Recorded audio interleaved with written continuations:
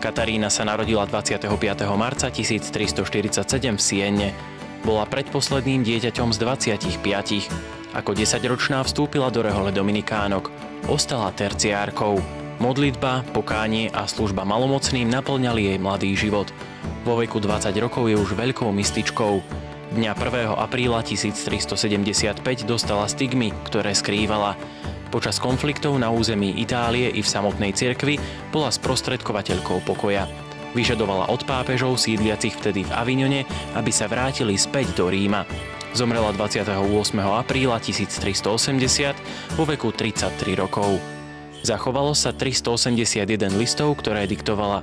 Jej telo sa nachádza v rímskom kostole San Maria Sopra Minerva.